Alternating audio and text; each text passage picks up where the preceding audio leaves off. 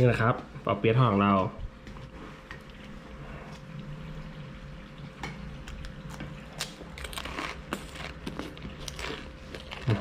ขั้นตอนแรกนะครับ เรามาทำน้ำจิ้มมะขามสำหรับทานคู่กับปอเปี๊ยะของเราเลยครับเพื่อนๆ น้ำเปล่า 100 กรัม น้ำตาลมะพร้าว 100 กรัม น้ำมะขามเปียก 3 ช้อนโต๊ะ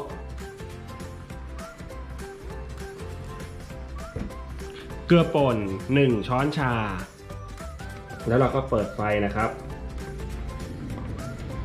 เปิดมาที่ไฟแรงเราก็เคี่ยวน้ำจิ้มมะขามของเรานะครับ ให้น้ำตาลมะพร้าวละลายเลยนะครับเพื่อนๆ แล้วก็ปิดฝาหม้อไว้นะครับ รอจนกว่าน้ำจิ้มของเราจะเดือดนะครับเพื่อนๆ ให้เขาเดือดเข้มข้นเลยนะครับ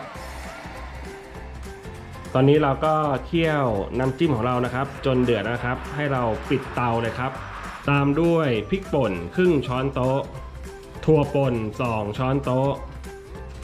แล้วก็ใช้ไม้พายนะครับ คนให้ส่วนประกอบเข้ากันนะครับ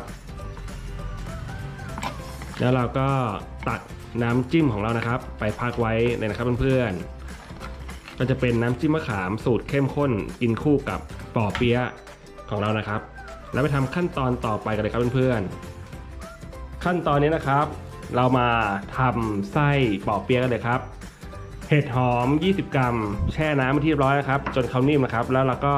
ซอยเขาให้เป็นชิ้นเล็กๆนะครับ กระหล่ำ50 กรัม แล้วก็ซอยกระหล่ำให้เป็นชิ้นเล็กๆนะครับ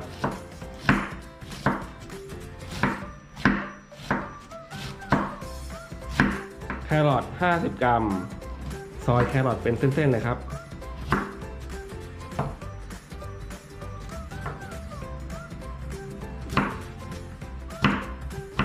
ขั้นตอนนี้นะครับ เรามาผัดไส้ปอเปี๊ยะกันเลยครับเพื่อนๆ ใส่น้ำมันลงไปเล็กน้อยครับ 3 เกลอ2 ช้อนโต๊ะ แล้วเราก็ผัด 3 เกลอให้แตกกลิ่นหอมเลยนะครับเพื่อนๆ เมื่อเราผัด3เกลอจนแตกกลิ่นหอมนะครับ ตามด้วยหมูสับ 200 กรัม ผัดให้หมูสับของเราสุกเลยนะครับ เมื่อเราผัดหมู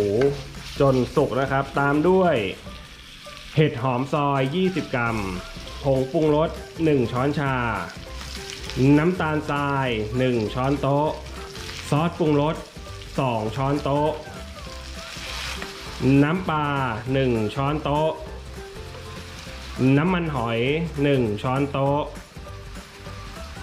แล้วตามด้วยกระหล่ำและแครอทซอยอย่างละ 50 กรัมนะครับ ใส่ลงไปเลยครับ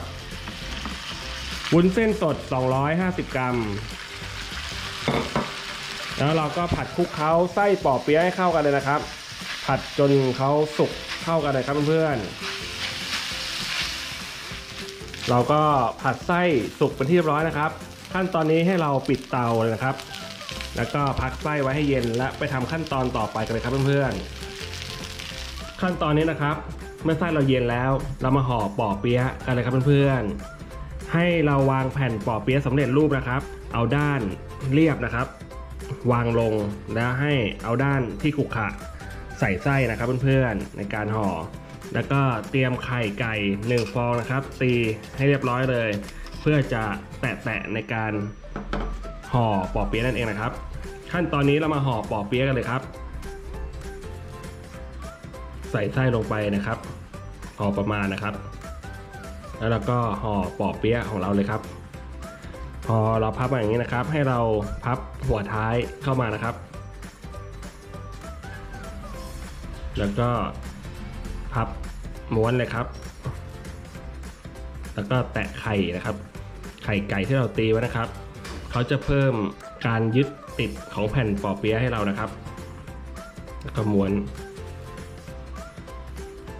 จะเป็นลักษณะนี้นะครับ เดี๋ยวเราห่อปอเปี๊ยะของเราให้เสร็จเลยนะครับ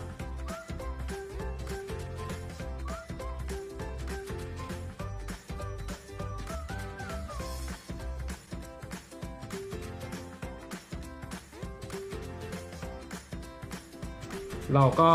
ห่อปอเปี๊ยะเสร็จแล้วนะครับ ขั้นตอนต่อไปนำปอเปี๊ยะของเราไปทอดกรอบกันเลยครับเพื่อนๆ ตอนนี้น้ำมันของเราก็ร้อนแล้วนะครับเพื่อนๆ แล้วก็ทอดปอเปี๊ยะกันเลยครับเพื่อนๆ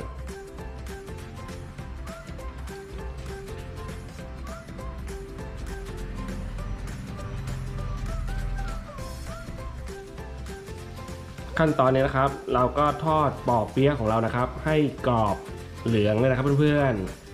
ๆ แล้วก็ปรับไฟมาที่ระดับไฟแรงเลยนะครับ ในการทอดนะครับ กระทะที่เราใช้ก็เป็นกระทะป๊อปนะครับ ยี่ห้อ New Wave นะครับเพื่อนๆ สีสวยมากเลยครับ สามารถหาซื้อได้ที่ s h อ p e e นะครับเพื่อนๆ กระทะป๊อป New Wave ของเขาใช้ดีจริงๆนะครับเพื่อนๆ ให้เราคอยใช้ไม้พายนะครับ ลิกเข้าไปพลิกเข้ามาอยู่เรื่อยๆนะครับ เพื่อให้เขาสุกเหลืองให้ทั่วเลยนะครับเพื่อนๆ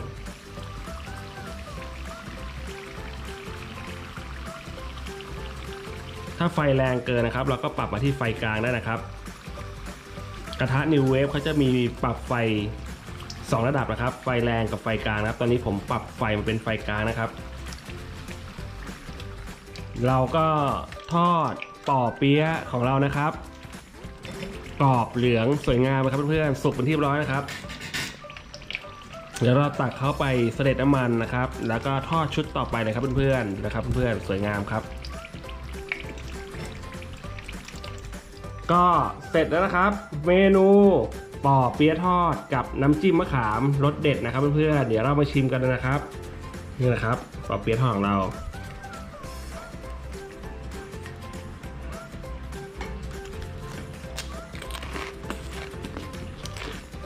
อื้อหือ